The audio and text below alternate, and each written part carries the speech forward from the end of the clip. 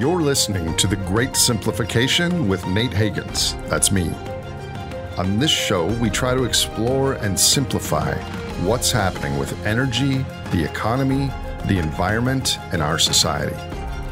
Together with scientists, experts, and leaders, this show is about understanding the bird's eye view of how everything fits together, where we go from here, and what we can do about it as a society and as individuals. Today's guest is my friend and educational mentor, Herman Daly. For many of my listeners, Herman will need no introduction. He is an emeritus professor of economics at the University of Maryland, a former senior economist at the World Bank, and one of the founders of the field of ecological economics. Reading his book, Valuing the Earth, over 20 years ago, was one of the key things that caused me to leave Wall Street and study natural resources and ecological economics. Those who have been lucky enough to interact with Herman would probably all concur that he brings wisdom and insight to a conversation, but he does it with a humility, light, and grace that is becoming lost in the modern supernormal stimuli culture. Today, Herman and I talk about the biophysical underpinnings of human economies and how a social system that is more tethered to our ecological reality might come into being. I hope you learn from and are inspired by my conversation with Herman Daly.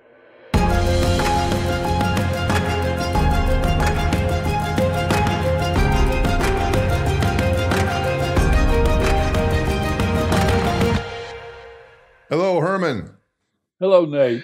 Good to see you again, sir. It's a pleasure. So, you may or may not know this or may not remember this, but 20 years ago this month, I read uh, For the Common Good, uh, soon followed by Valuing the Earth. And it was the main thing that propelled me to leave my Wall Street career a year later. And I think you do remember that around that time I called you, I emailed you, and then I called you and asked if I could be your student. And you told me uh, that you were not accepting any students uh, for PhD programs, and you connected me with your colleague uh, Josh Farley. So I ended up getting my PhD at at University of Vermont, but. I owe leaving the dark side largely to you and, and your thinking. Well, I, I, probably cost you a lot of money.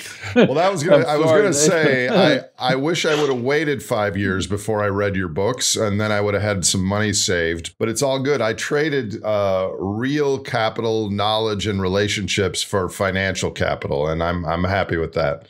That's good. You know, the reason I I didn't accept as students was I was at that time on the outs with my department at LSU and I was such a minority that any student who studied with me was at a disadvantage.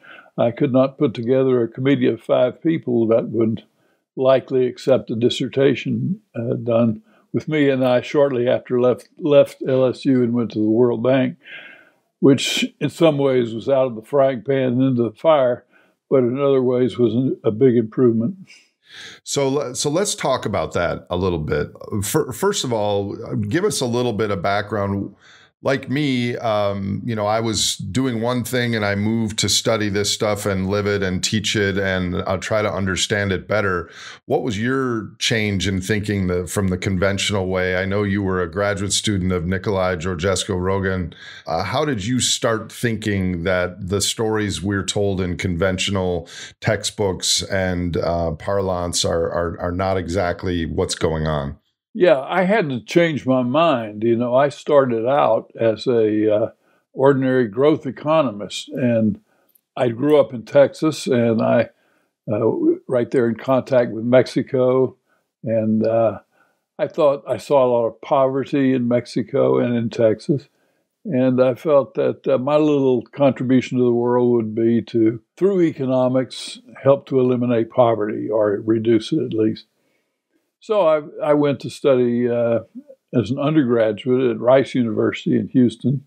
I guess, you know, and it's interesting, uh, all undergraduates at some point have to choose a major.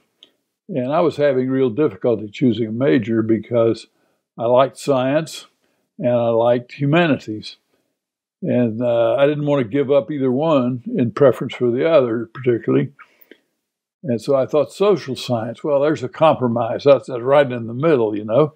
And economics looks like the most uh, interesting of the social sciences to me. Uh, has it has one foot in uh, the, the uh, world of ethics and humanities, and the other foot in the world of physical science. So that's what I'll choose. And I was aided in that choice, but because the first course I took was the history of economic thought, and that was sort of the way it was. But quickly, I, I realized when I got into uh, microeconomics, macroeconomics, and so forth, more advanced courses, that uh, I'd made a mistake. That the economics being taught had sort of both feet in the air. There wasn't any grounding in physical science. There wasn't any grounding in ethics to speak of. But I was already committed to that, and and I did like it, and I thought there was uh, I was still interested in the poverty aspect in uh, Latin America, so I went to uh, Vanderbilt University because of the Latin American Development Program there, not because of Nicholas Georgescu Roegen. Uh, in fact, I, all the students at Vanderbilt were scared of Georgescu Roegen because he was kind of fierce.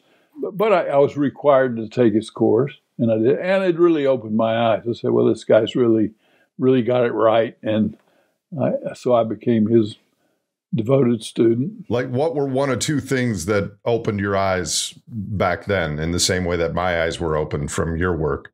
Well, you know, I'd I'd been unhappy with the lack of grounding of economics in, in something more solid. At that time, well, he he himself went through a transition. He was a mathematical, statistical economist, and um, then he got interested in the entropy law and as a foundation of economics.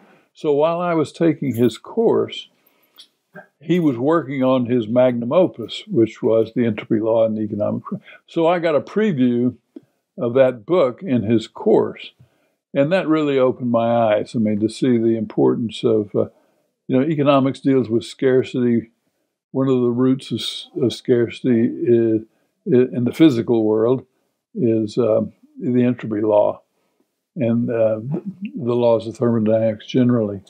So that turned me on, and uh, I just thought, you know, I was in presence of a, a real intellect. Switched my view. It didn't. I was still interested in going to Latin America and, and working in development, and so I eventually did that. Went to Northeast Brazil with the uh, Ford Foundation professor at the University of Ceará. Uh, and the, seeing the population problem in the northeast of Brazil at that time, I guess further gave emphasis to my uh, interest in the balance between population and resources and scarcity and environment. And so, and then I read Rachel Carson's book, Silent Spring. And that was an eye opener because I said, well, that's, it's not just pesticides that are screwing things up. It's the whole waste stream from the uh, entropic use of resources. So that's more or less what led led uh, led me away. So the the main two things that I learned from your work 20 years ago and I've continued to learn them and now they just seem obvious to me is number 1 we live in an energy and materials economy not a monetary economy. Money is just a marker for the real biophysical things. And the second thing is that the damages to nature and other species and ecosystems and the environment are not included in the prices of things we pay uh, for. And that is called an externality. And it just shocked me that, you know, we, we go and consume and live our lives, but a lot of the negative impacts are not included in our prices. And I just never thought of that before. And now it just seems so obvious. So these are two of the aspects of, uh, of the field that you uh, were one of the founders of, ecological economics, which is what I got my PhD in. So, in your own words, uh, how would you describe ecological economics in contrast to conventional economics? You know, going back to the common first syllable, uh, eco, ecological economics repeats that syllable. And for ecology, th- that means the, uh, the household. Eco comes from the Greek oikos, meaning household. And for ecology, it's the study of the total household of mankind, uh, the natural ecosystem, the biosphere. And economics, then, is the more narrow household of mankind, and that uh, the economy. And so, ecological economics studies the relationship between the human household and the larger household of nature, what flows across the boundary of those households, and how does the uh, economy fit within the larger biosphere? And more importantly, I guess, how does it fail to fit? How does it fit badly? And what can be done to correct it? You know, why wasn't that always the way we looked at it? You know, what, uh, I think the earlier economists looked at it looked at it as the economy was everything, and indeed that that made sense if the economy was very very small relative to the total ecosystem. You could therefore assume that the larger system was basically infinite, and that you didn't you couldn't hurt it. You could take from it without depleting it, and you could throw waste into it without polluting it because it was so large relative to the system. Well, then as the economy grew, this is a, a, great insight by the economist Kenneth Boulding. You know, he told us that when something grows, it gets bigger. Uh, and sure enough, when the economy grows, it gets bigger and bigger and bigger. And the ecosystem stays basically the same size. So we have a bigger and bigger impact. And that's where these externalities come from.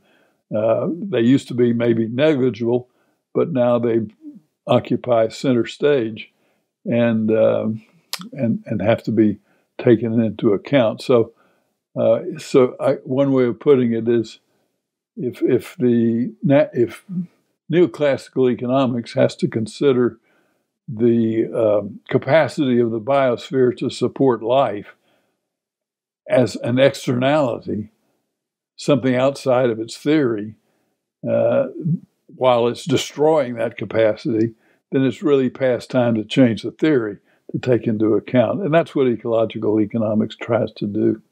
But that was two generations ago, and things yeah. have gotten so much worse and right. so much more obvious, which leads me to question is it people's ignorance or lack of knowledge that is limiting including ecological economics principles into our operating system, or is it something else? Is it that the power and the metabolism and the momentum and the politics of our situation will not allow for these better long term sustainability governance things to be incorporated into our system? What, what do you think about that? Well, I started out thinking that it was uh, a question of ignorance and that once we explained things more clearly, we would gain adherence and the total mainstream economics would move in our direction. Uh, so we were not trying to start ecological economics. We were trying to influence mainstream economics, but we couldn't do it. Uh, there, there was no acceptance. So that has led me more to accept the likelihood of your second explanation that there are real uh, systemic and uh, and vested interests, not only material economic vested interests of people who benefit from the growth system and don't want to see it changed, but also intellectual vested interests from economists and thinkers who have invested their time and mental effort into elaborating and studying all these complex models of growth. And uh, then I think there's just a uh, I would call it uh, almost a, a, religious or an, or an um, ideological or indeed idolatrous uh, mindset that uh, human beings are all powerful. You know, we we are not creatures uh, subject to the limits of a larger creation. We are the creators, and uh, you know, look at what's going on now with the uh, our billionaires racing each other to the moon to sell short term flights to other billionaires and touting this as the, the wave of the future and and evidence that we can do anything while the world is burning, flooding, and pestilence is raising is raising. How does that happen? Yeah. It's amazing to me, first of all, that uh, Stephen Hawking and Elon Musk are saying that we need to colonize Mars uh, because of climate change and, and nuclear risks and other things. On the worst possible Mad Max Armageddon post nuclear collapse, the, the, world that we live on would be a paradise compared to Mars. So it's yeah. even if it were physically possible, it's just yeah. delusional. But did you see a couple days ago, Herman, uh, William Shatner's response after he flew on uh, Bezos's ship and came back into uh, uh from space? That was amazing. Yes wasn't it? Yes. I mean, he he felt a profound sadness. He's like out there is death. Yeah. This is life, and I, I yeah. and, and he's Captain Kirk. So I was thinking this could be an Overton window, maybe of of the preciousness of what we have and what we're losing. Yeah, I, cu- I couldn't help wondering if if Bezos at that moment when he was speaking might might be telling him, "Hey, don't say that. That's not what I wanted to hear." I, I don't know. I didn't. I don't know. I don't know what went on there. But I, but I will say this, and I think I've told you this on uh, our, our previous chat with you. I've talked to parliamentarians and senators and governors and world leaders over the last decade on our uh, existential risks that we face with energy, climate, finance, uh, you know, the whole story. Invariably, Herman, these high level people are always directly flanked by an economist or an MBA that's kind of acting yeah. as the gate, the idea gatekeeper. And so all this, um, we have an energy and materials economy, not a monetary one. Uh, you know, climate change is an existential risk. All these things are poo-pooed away under the framework of of neoclassical economics.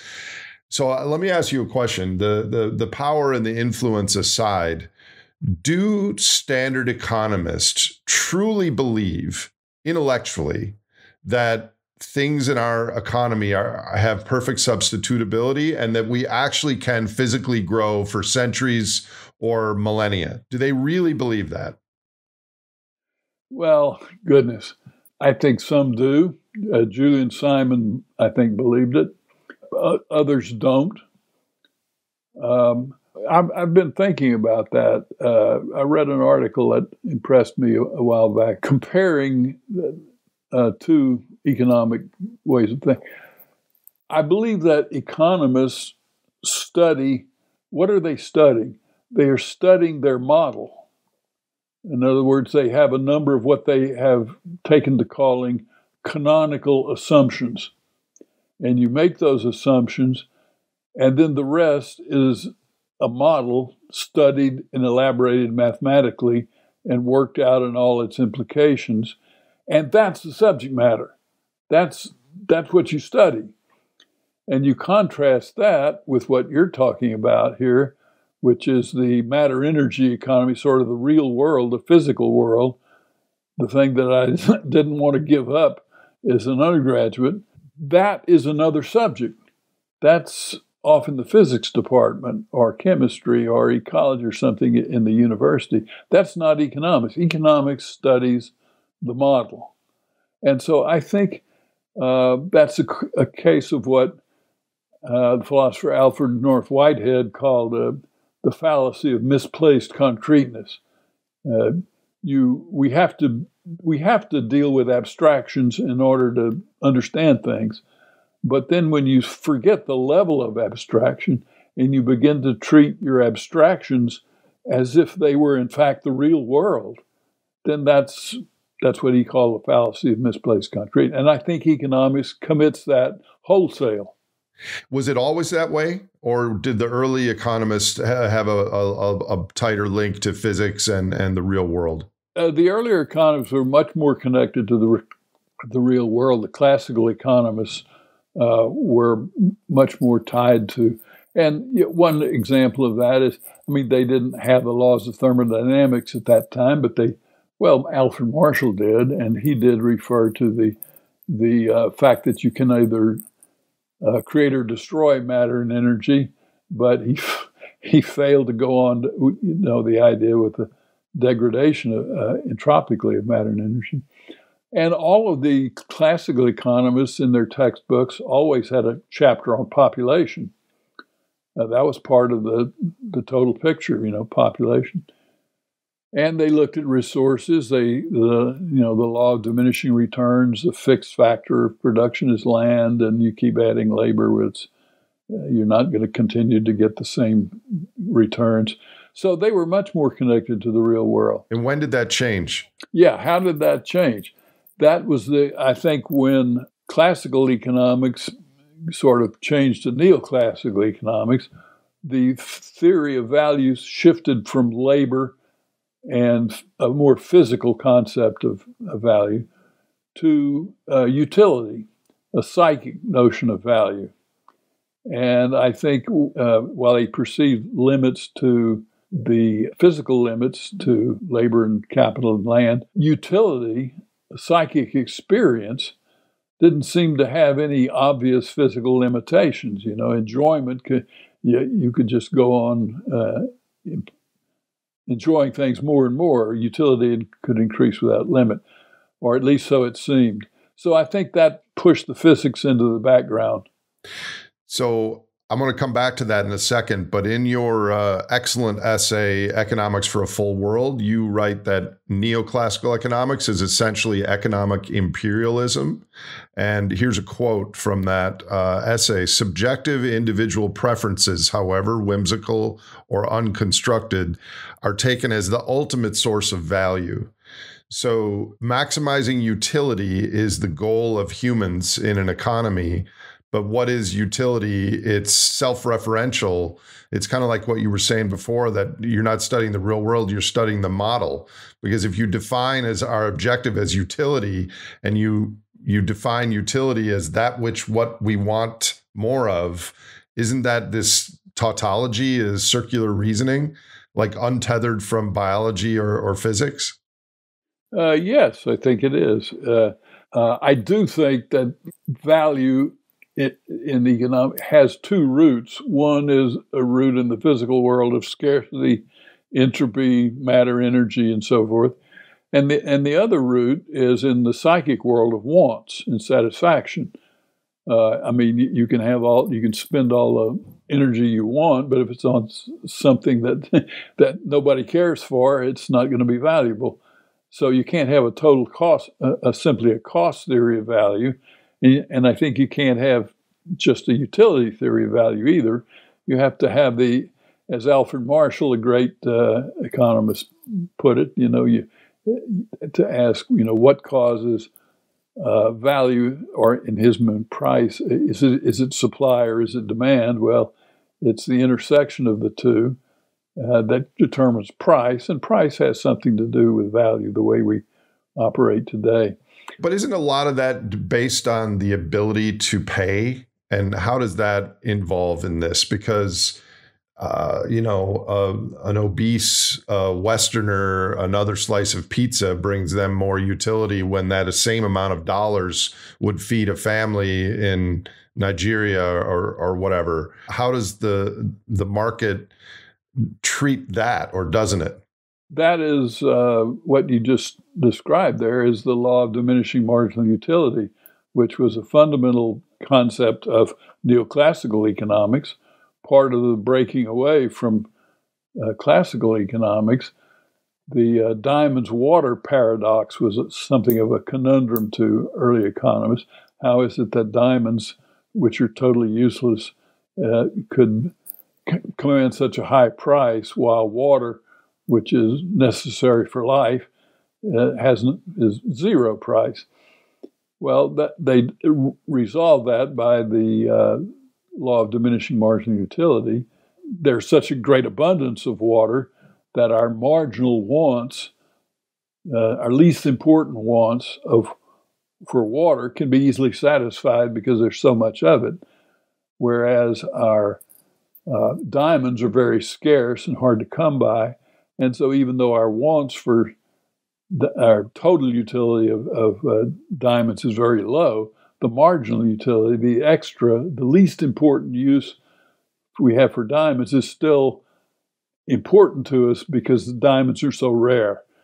And so that was the resolution of the diamonds water paradox by diminishing marginal utility. And that and that and then of course marginal utility is what determines price. That's that's when you go into the market to exchange things, you exchange them on the basis of marginal utility, not on the basis of their total utility. So that, that was a real advance of classical uh, uh of neoclassical economics. Uh, but then I don't know uh, then that you got into the growth business, uh, which I think obscured a lot of that reasoning. Here's what I think about that, and tell me uh, if you concur or, or take it a little deeper. Classical economists used to have land, land productivity as variables. And then when we started to access fossil carbon and add it to our economies, it was so powerful just a barrel of oil does around five years of yours or my physical work. And that was like all of a sudden our productivity and our growth took a moonshot. And over time, they attributed that to our cleverness and technology because all we were doing was paying for the marginal cost of extraction, not the cost of creation or the pollution. We've underpaid for the main input to our economies for over a century. And the main flaw in macroeconomics, neoclassical economics, is they treat energy the same as any other input into our system. It's not special. But from an ecological economic standpoint or a biophysical economic standpoint, energy cannot be substituted by anything other than energy or another form of energy. And so the the Cobb Douglas function in economic theory describes where our wealth comes from, where our productivity comes from. And neoclassical economics treats capital and labor with a little bit of a productivity factor in there as describing our wealth. But energy is completely absent. Yeah, you're absolutely right. They, they the Cobb Douglas production function, as it's represented in textbooks, nearly always omits any resources, energy, materials, any natural resources, only labor and capital. And the amazing thing uh, to me and to many others is that the uh, the work of uh, Robert Solow they fitted the uh, Cobb Douglas production function to the data, you know, on production, and they explain he explained the total uh, increase in production by increases in labor and capital. But then statistically, he had this huge residual of unexplained, that was unexplained, it was like 60% unexplained residual. So what do you do? You'd say, oh, that's technology, you know, that's the, so you just attribute that all to technology. Well, you could attribute it all to energy. Yeah.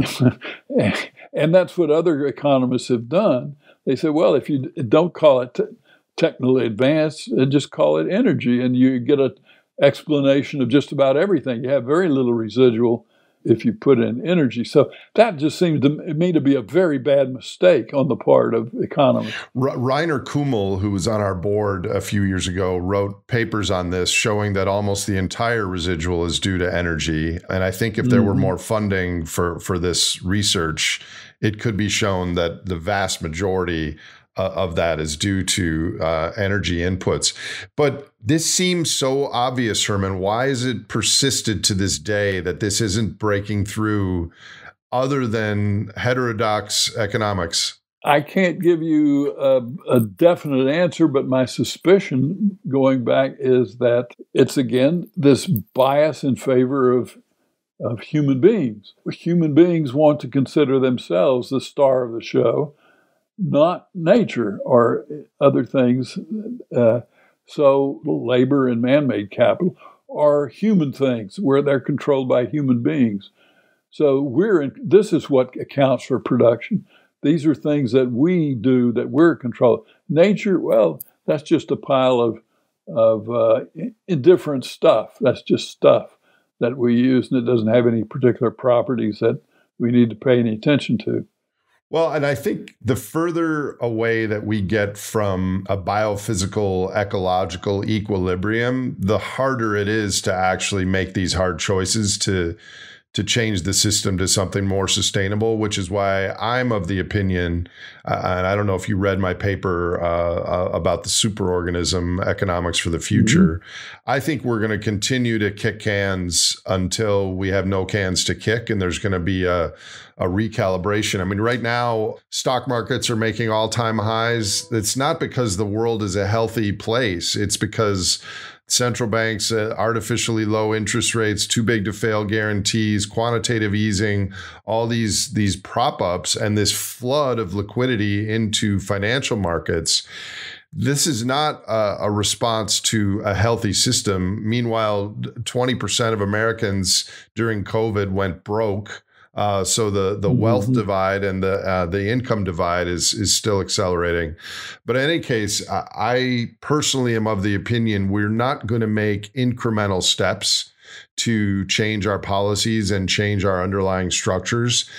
We have to build plans for when there's a crisis because there is going to be a crisis. Right now, we are getting back to your the, the the core of a biophysical worldview. We are creating money and monetary claims on an exponential trajectory, and our low entropy, high uh, potential energy and resources are declining, and the d- disparity between those curves is growing right, by the month. Right. Oh, so, what do you think about all that? Well, you know, that's it. Uh, what you say is very, very well put.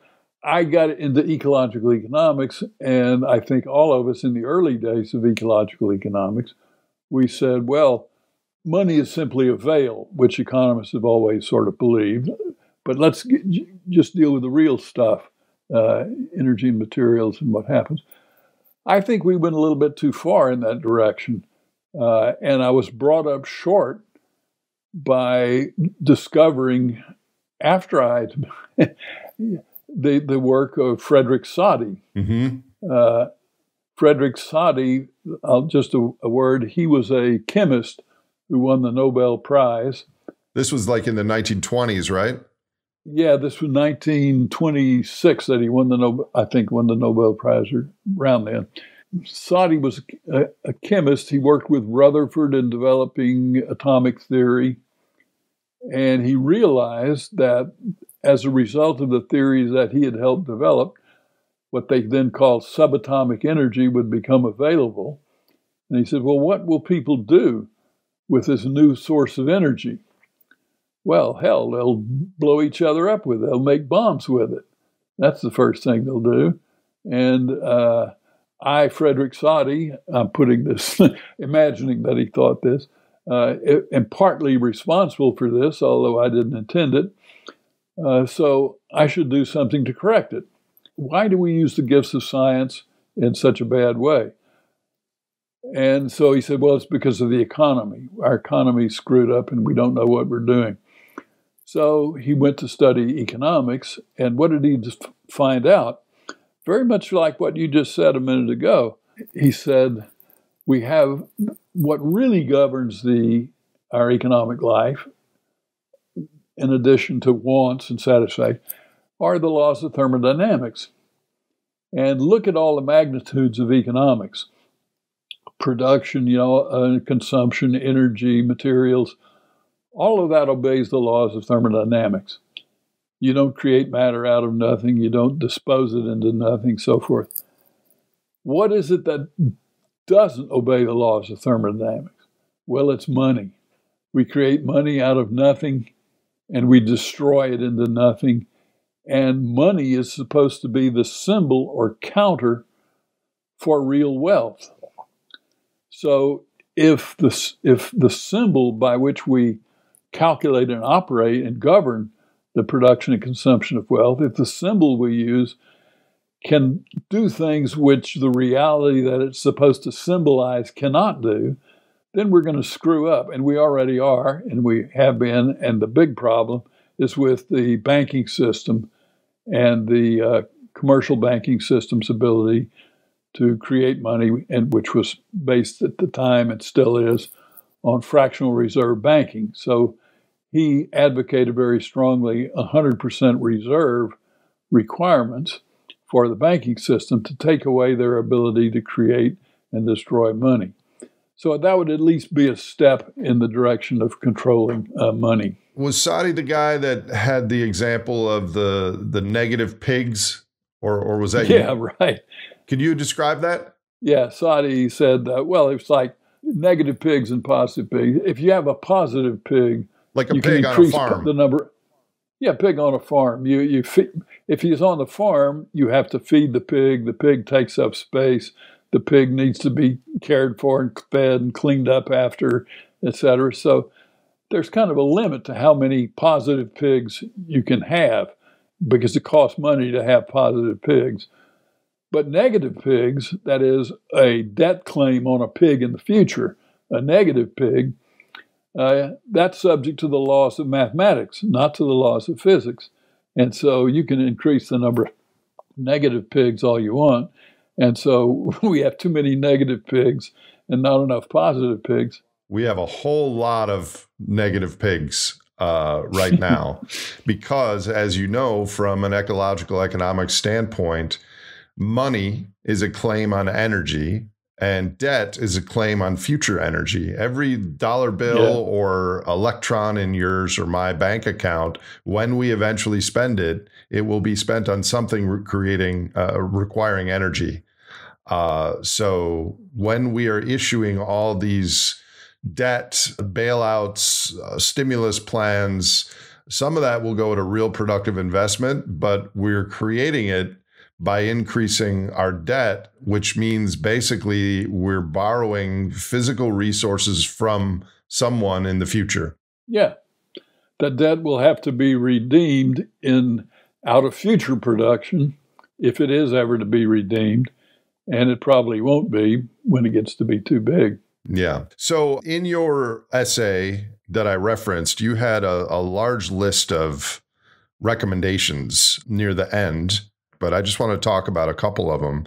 Uh, one, you have reforming national accounts, separate GDP into a cost account and a benefits account so that throughput growth can be stopped when the marginal cost equal the marginal benefits. Could you talk about that for a bit? We didn't vote to have GDP as our goal. It started out as an econometric measure uh, that wasn't ever intended to be a goal around 1930s or something, right? That's right. GDP started out as a way, really, I think it was more a way of trying to have a measure of how much of productive activity of the economy could be diverted into the war effort and still and what would you have left over in a way of, of just keeping account of what was going on in, in the economy it was never intended as a measure of welfare or benefit or something to be maximized.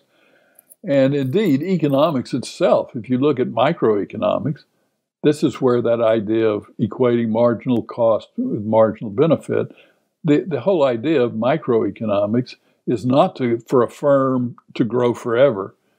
It's to grow to the point at which they're maximizing profits. And when do you maximize profits? You maximize profits when marginal revenue equals marginal cost. And so you grow up to that point, and then that's sort of uh, what's been called the when to stop rule of, in microeconomics. You stop growing a micro entity when marginal cost equal marginal benefit. Okay, jump over to macroeconomics now. Oh, where, where's the where, where's the when to stop rule? Well, it's not there anymore. Uh, so we just keep on adding more and more micro activities and with no notion or counting of the uh, of the uh, limits of the total scale uh, of the system. One way I like to uh, say is we don't have anything in economics currently which is analogous to the Plimsoll line on a ship. You know, the Plimsoll line is a, a mark on the hull of a ship, and when the water level reaches the plimsoll line, that's the signal that the ship is fully loaded, and you don't go beyond that or for danger of sinking.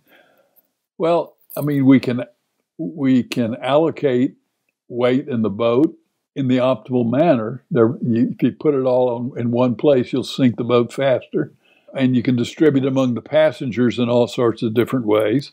So you've got the distribution of the load among passengers.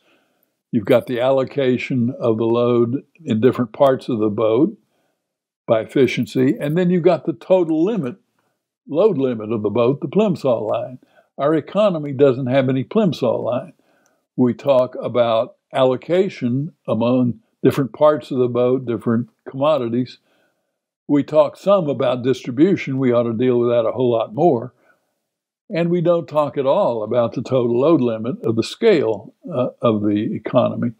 So I think that's a major effort or contribution of ecological economics is to build that into analysis. So let me ask you about that. If we were to have a Plimsoll line, would that have to be global? Because if, for example, the United States created such a, a limit uh, and lived within our limits, then other countries would outcompete us, at least economically, though maybe that would no longer be our goal.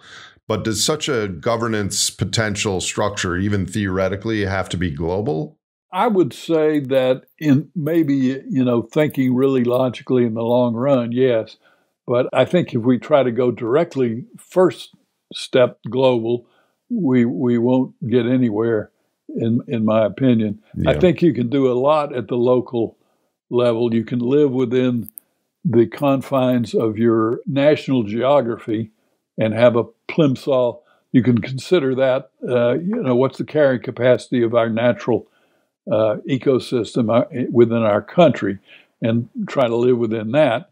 And then you'll, but that does mean you'll have to control um, international trade. You will not be able to really have free trade it, with that kind of system. So it'll, you'll, uh, so I think, and then eventually you might broaden the the uh, area to the world. But I, I, don't have any faith whatsoever after six years working in the World Bank that, of going to a global control policy for uh, of a plimsoll line. I'd be very happy to see us approximated at a national level, and then gradually attempt to uh, influence other nations to do this, similar things.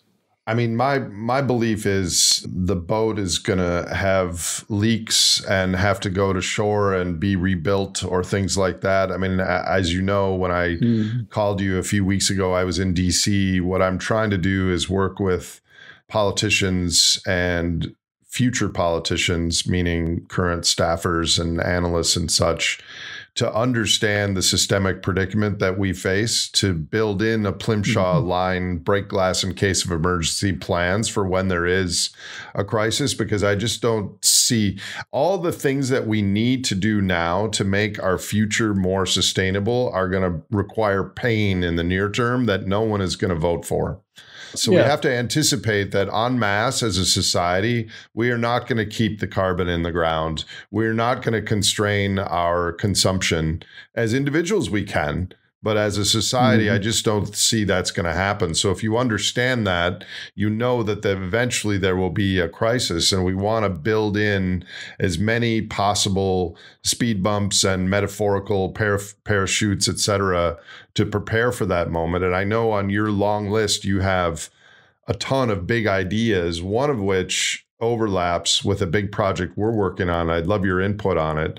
Uh, you talk about changing the prices via taxes. And given that we've underpaid for the main input to our economies for the last century, just for an example, a barrel of oil does four and a half years of my work. The average American uh, at $50,000 a year, um, four and a half years, that's $200,000 worth of productivity in one sense that you get for $60. So if we were able to put a tax on non-renewable inputs to our economy and remove a tax on labor, which is 95% of where what's taxed right now, so that if you if you make $50,000 a year, you get to keep all 50,000, but a lot of things in your life are substantially more expensive. You might have to do without some things. You might have to repair things and have them last longer. And such a tax would spur innovation tethered to our reality. Yeah. And it would spur conservation. So, what do, what do you think about that? What work have you done on that? Well, I think that just, I agree with you. That's a very important and obvious thing to do. And uh, I, for the life of me, cannot understand the fixation economists and and others, politicians, have had on the uh, the so-called value-added tax. You've got two things. You've got the the flow of, of matter and energy through the economy, which we call it, you know, the throughput. Now that is what we're adding value to. What is it we're when we add value? What is it you're adding value to? You're adding value to the natural resource, energy and, and materials going through the. What is adding the value? Labor and capital are adding the value to. Now, what is what is the limiting factor in the long run? Well, back in the old days, in the empty world, the limiting factor used to be labor and capital. We had a whole lot of natural resources, very little limit. That was the limiting factor. Nowadays, the limiting factor is natural resources, energy, and structured materials. So let's raise the price, let's tax the limiting factor, raise its price, use it more efficiently, garner our public revenue, which we need any, in any case from that largely, and let's ease up on taxing value added. Actually, we want to add more value. The more value we can add, the better. You know, so that's that's almost the definition of efficiency to add more value to the what's basically scarce. Uh, so I would like to, sh- as you outlined, shift the tax burden, the tax base, away from value added and onto that to which value is added, the labor flow. I think that would would help. So that would indirectly help the environment as well because we would be using less and there, therefore there would be less waste. But what would be a are there any other wider boundary um, recommendations that that you would have? Well, I, as you know, there's this sort of a debate uh, uh, about the the carbon tax versus uh, cap and trade mm-hmm. sort of things that I think is a difficult debate. And I personally think that quantitative limits, theoretically, are better than price limits, taxes. Uh, if you if you limit that quantity, then given a demand curve, you'll determine the price. But demand curves are really not known. You can draw one on the blackboard, but they're shifting all around and there's errors and omissions. And so if you fix a price, then a shifting demand curve will result in quantity variations. The ecosystem cares about quantities. The ecosystem doesn't really care about prices. So safe, it's safer ecologically, I think, to fix the quantity and then let the variations and errors and omissions work themselves out in price variations. Uh, that would be my preference theoretically. Politically, I'll, you know, there's a good argument counter to that saying, yeah, but that's complicated. You have to set up all these auction systems and so forth. And the the carbon tax is much simpler. In fact, all you'd have to do is just change the algebraic sign of the uh, the depletion allowance to the oil companies, change that from a subsidy to, to a tax, and you're and you're almost there. So I could see that being an, an immediate policy, a first step, something that's easier to do right now.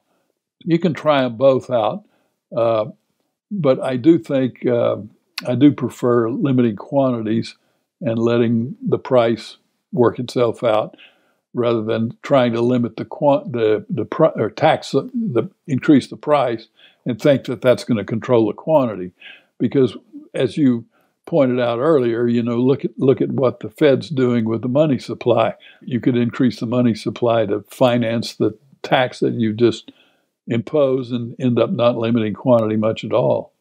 Yeah, I mean, I I often ask uh, my climate friends, what is the carbon impact of quantitative easing, and they don't really make the connection that when we're issuing all this debt, it's an immediate claim on energy that is tethered to carbon. So these financial crises in 2009 and 2020 have have made our carbon, our climate situation much worse.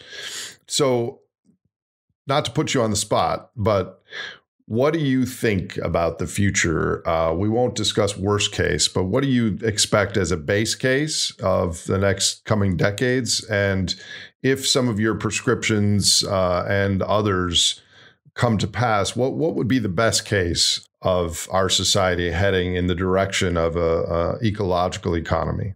I guess you might say I'm. Um, I try to be a, a, a hopeful pessimist.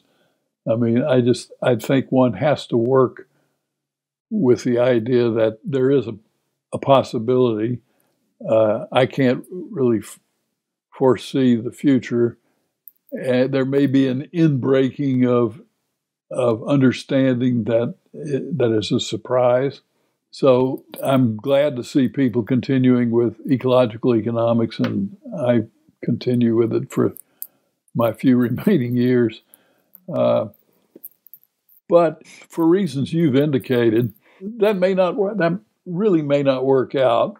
And as my students uh, would frequently say, just as you did at the end of a semester, yeah, yeah, Professor Daly, all this steady state, you know, it uh, what you advocate looks reasonable. You your assumptions, we can't find anything wrong with them. Your logic sounds true. We can't find an error yet, but you know this is this is never going to. Uh, Congress will never enact these kinds of programs that you suggest and that follow. So, um, you know, are you sure you haven't wasted our time? Maybe we should be doing something else. And my my answer to that is not a very good answer, but it's an. I say, well, you know, what are you going to do after after it all crashes? And every day it looks like we're heading more and more to a crash, what are you going to do then? It would be good to have some ideas on the shelf for rebuilding and reconstructing whatever is left after we crash in a way that it may not crash again. So I see that as a justification, even in the worst case scenario of, of doom and gloom. I mean, that's my similar philosophy. And by the way, your work has created an Overton window, if nothing else, for hundreds of thousands of people uh, or more. Because, you know, my class called Reality 101, a, a lot of my students are already worried about climate change and they take my class and they learn a lot more things that are are risks, uh, energy, financial depletion, geopolitics. But at the end of the semester, they feel energized because they understand what's happening, and the understanding mm. resolves some uncertainty, and it just makes their uh, actions a little clearer. So I, I think we have a biophysical bill coming due this decade. And it doesn't have to be a disaster, but if we prepare as individuals, as communities, as a nation, and start to change, I mean, not our consciousness in a uh, metaphysics sort of view, but change our values and our consciousness of what matters. We don't need a hundred to one exosomatic surplus of energy to be mm-hmm. happy, healthy, and live meaningful lives. Uh, I mean, Europe has half of what we have, and most Europeans are as happy or more oh, than, yeah. than, Americans. Oh yeah. So it's this That's right. It's this giant monkey trap. We've got our hand on the banana, which is economic growth, and we cannot let it go. All we need to do yeah. You know, you've had a long and illustrious career and you've influenced so many people, including me. If you had to do anything different looking back professionally or educationally, w- would you change anything? well, it's, that's a good question. And it's a very hard one to answer because so many things, looking back on one's life, are the result of apparently trivial coincidences or changes, you know. I mean, I came under the influence of Georgescu Roegen, but that didn't have to happen, you know.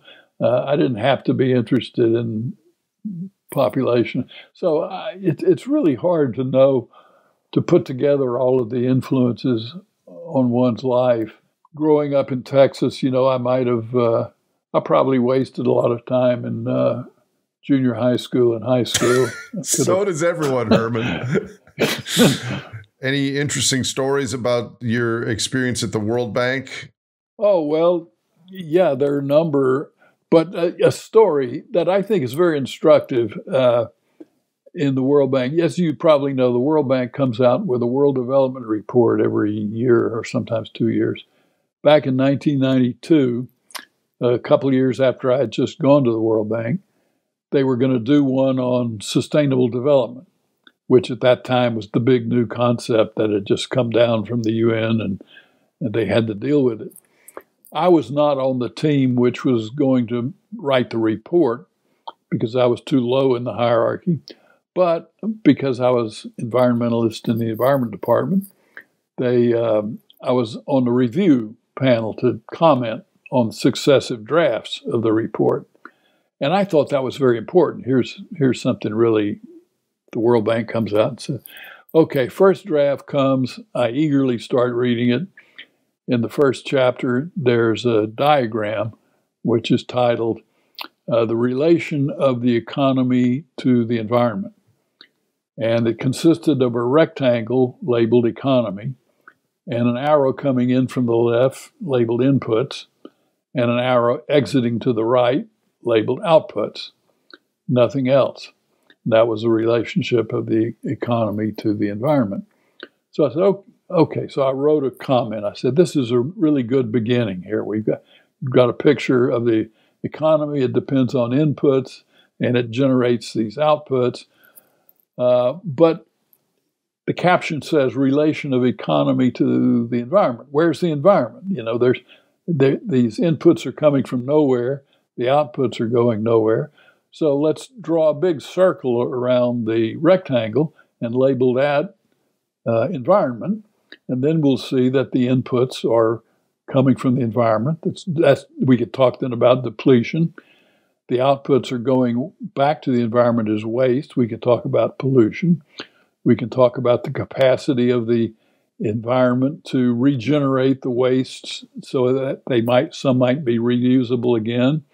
We can talk about the balance between the two uh, inputs and outputs in terms of the loss of thermodynamics and the size of the subsystem relative to the total system. How big can the subsystem be relative to the total system? We can talk about the entropic nature of this throughput of matter energy, et cetera, et cetera. We can really develop this picture and uh, into something important. And so I sent that back in as my comment. Uh, here comes the second draft of the uh, thing. I look, I look at the diagram again. There's the same diagram, but this time with a great big rectangle drawn around the original rectangle. That's basically a picture frame. You just took the same picture and put it in a frame. No labeling, no change in the text, no discussion of anything. So I said, well, okay. I said, this is really the same thing. Uh, I repeated the things I'd said before, tried to be more diplomatic, uh, sent it back in. Here comes the third draft. third draft, I look, no more diagram. Completely abandoned any attempt to draw a diagram of the relation of the economy to the environment. Now, you know, that's something, isn't it? That's not hard to do. I mean, this is kindergarten, you know. You could you, you got a large system and a smaller system inside it, and a, a, a relation of dependence. Why won't they look at it that way? Why do they not want to do it? Well, I realized slowly the reason is you that picture threatens you with questions to which you cannot give a good answer within the context of the World Bank because it immediately says if the economy is a subsystem of a larger system, the larger system is finite, non growing, and materially closed. How big can the subsystem be relative to the total system before it dis- disrupts it? Oh, limits to growth. Holy cow, we can't talk about that. Entropic relation to pollution, laws of thermodynamics. Hell, nobody understands that. There, nobody's going to listen to that. We don't understand it either. Uh, it, it's going to limit growth. We understand that much. And we can't do that because the World Bank is in the business of growth. So, better to abandon it. How soon after that did you leave the World Bank? I struggled. All, that was in 1992. I left in, uh, I guess it was 94. Okay.